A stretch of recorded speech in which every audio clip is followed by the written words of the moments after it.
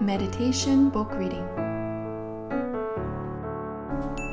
Where You Become True is the Place of Truth by teacher Woo Myung.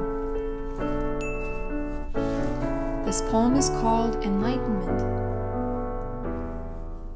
Enlightenment is what one comes to know when he comes out from his false mind world and becomes truth which happens to the extent of how much falseness has been discarded. Truth emerges as much as one has been absolved of his sin and karma, and what he comes to know in the moment of realization is enlightenment. When the Bible tells us to believe with the heart and confess with the mouth, it is speaking of enlightenment. From the starting point of knowing nothing, man will come to know and be enlightened of many things along the way to becoming truth.